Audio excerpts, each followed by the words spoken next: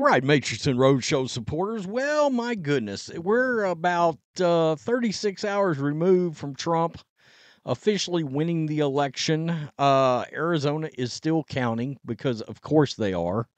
But Trump's going to end up winning that state, and it looks like he's going to end up winning uh, Nevada as well. And I think this is probably about as close in current day America to what a Reagan like victory would look like. By the time it's said and done, this is probably going to be 312.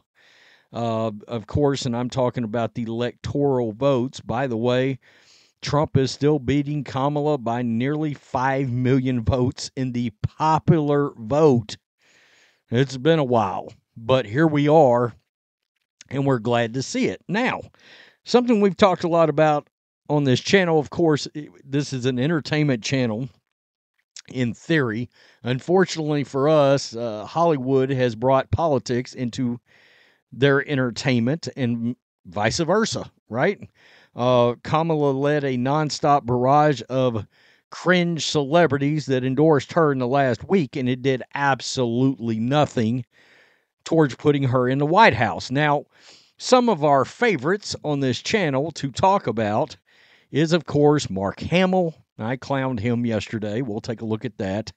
And uh, Stephen King, uh, Mark Ruffalo, Rob Reiner, you know, Alyssa Milano's a nutcase, and the list does go on and on and on. Uh, Robert De Niro would be the other one, right? And uh, so, what we're going to do, let me just click right back here. We're gonna just going to peruse and see what it was that uh, people might have said to some of said celebrities over the last few days. So, Mark Hamill posted this. They say we get the leaders we deserve. Either that has just been disproven or this is not the America we all thought we were living in. Well, number one, we all thought, dude, again, again, Trump is winning the popular vote by almost 5 million. All right. So we all thought is nah, nah, Nah, it's exactly the Mer- America that basically 60% of us thought it was or should be. And you just got some egg on your face. I hope that was egg. And you got destroyed by this comment. Uh, absolutely destroyed. Now, a lot of these folks still haven't said anything. This is what I said to Mark Hamill yesterday. I said Trump just crushed Kamala the same way Rian Johnson crushed Luke Skywalker. Wait, too soon? I mean, honestly, seriously, that's too savage. Yeah, I thought it was good. Uh, guy down here thought this was actually perfection. Uh, I appreciate that. Jeremy Prime, of course, D Day Cobra, of course, Geeks and Gamers. You're pathetic. Donald Trump is an American hero.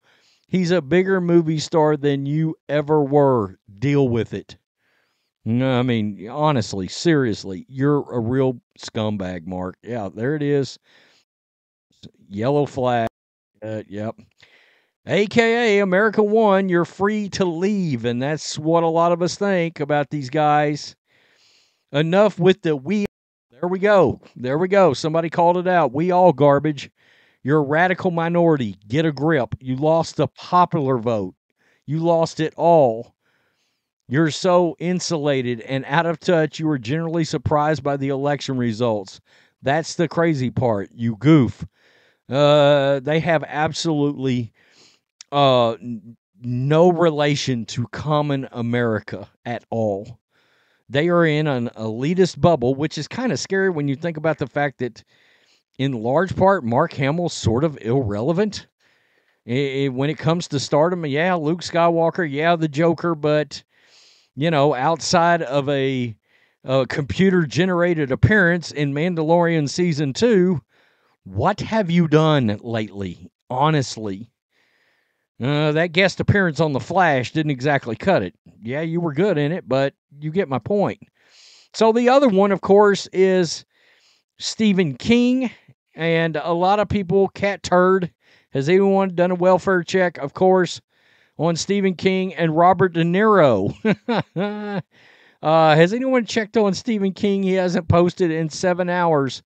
And I I looked, I can't tell that he said anything at all. Poor Rob Reiner said he was going to light himself on fire. I hope he records it for all of us to watch. Better keep a close eye on Stephen King. He's probably not doing so well right now. Has anyone uh, checked on Stephen King? Oh, I bet Rob Reiner is regretting saying he would set himself on fire. Uh, anybody got the, the let's throw another log on the fire. let's put a shrimp on the Barbie, shall we? Uh, better question: Does anyone care about Robert De Niro? That's a that's a damn good question. Anyone done a welfare check on Stephen King? I mean, it is a yeah, it's a bloodbath. it's a bloodbath. Oh, you were wrong about everything, Stephen King. Yeah. Honestly, anyone check on Mark Hamill? My guess is he escaped to a lonely island. Uh, which island is that? Just wondering. Is it an island you've already been to? Question mark. Ah, question mark. How about that? Huh. I'm here all day. Uh, someone check on Stephen King and Mark Cuban, quick. Oh man, honestly. It, I promise you. So that leads me over to Ric Flair. That's right. Woo! Ric Flair posted this earlier Trump's victory speech after the election. Let me turn this down because it's going to come in awfully hot. Of course, this is Ric Flair in the monumental days of WCW, the early days where he was with the Four Horsemen and Ric was in all of his glory and cut some of the greatest promos in the history of the sport. Some could say he he cut maybe the greatest one of all time. This is one of the best ones of all time. I promise you this above all else, I'm going to be more obnoxious, more overbearing, and I, I'm going to make you all learn to love it because you'll have no choice. You'll have no choice. You have to learn to love it.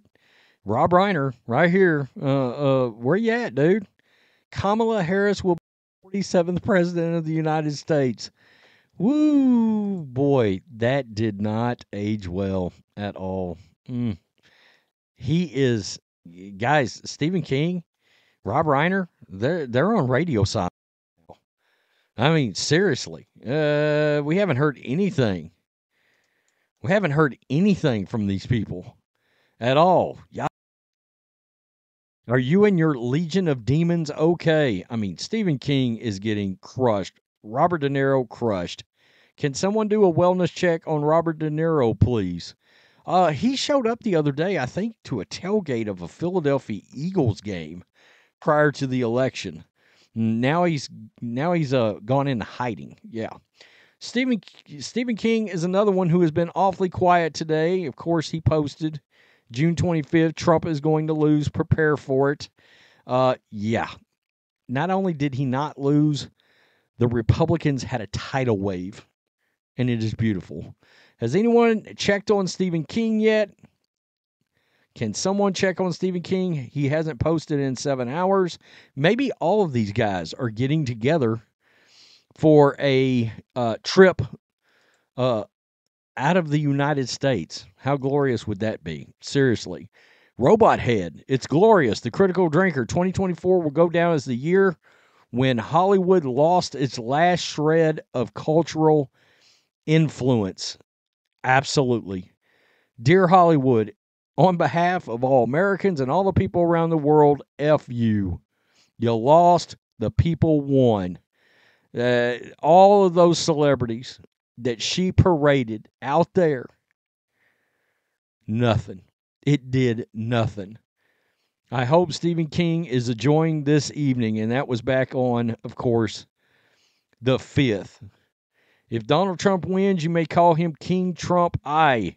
He'll like that. That was back July 2nd. Has anyone checked on Stephen King? Nope, because nobody cares. That was in response to checking on Robert De Niro. He's not well. That's really good. Has Rob Reiner set himself on fire yet? Oh, man. It's really good. Hey, Stephen King, how you doing? Mark Hamill too. You good? Make America Great Again. It's hilarious. It really is. Man, a lot of Stephen King. A lot of Stephen King. Really getting drugged today. Rob Reiner, uh, people are waiting. Have you bought your charcoal yet? Inquiring minds want to know. It's glorious. It's glorious. And it's clear. One thing is is crystal clear. Celebrity endorsements did not work.